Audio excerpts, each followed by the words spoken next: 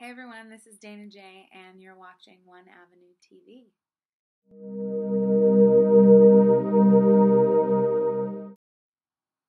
I don't think there was a moment when I realized I wanted to kind of pursue music.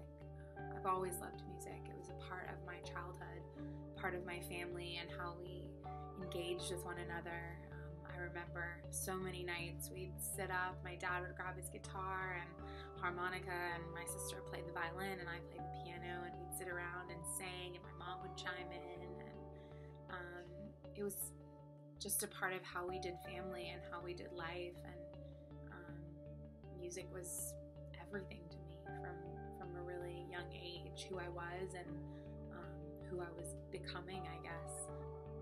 For writing music, it was pretty similar. I can remember my sister and I got given this little um, tape recorder, had a little red mic, and I would carry it around and uh, sing my songs onto it, made up or otherwise. I ruined my sister's Beach Boys cassette because I decided I had a song I needed to record. Um, she's still trying to forgive me for that, but um, yeah, that's when I started writing. I just would kind of put down my onto little cassettes. I never really had diaries or journals, but I had voice memos, and uh, and those were kind of the beginning of the songwriting process for me.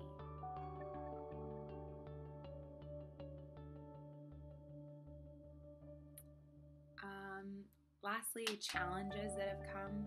Um, I think personally taking that instinct within me, something I'd grown up with and loved about my family and who I was, but but taking that and, and seeing it as a career and a pathway was really scary and, and challenging.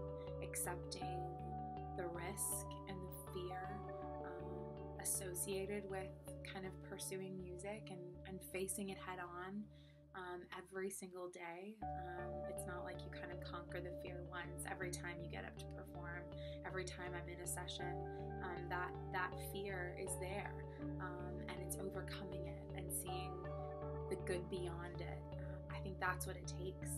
That's what you have to accept is just a part of the journey. Um, and for me personally, I'm in it for the long road. I'm in it for the long haul. Um, I want to write I want to create. I want to be a voice um, and hopefully a voice that you enjoy listening to um, and engaging with. So, thanks for listening to me now.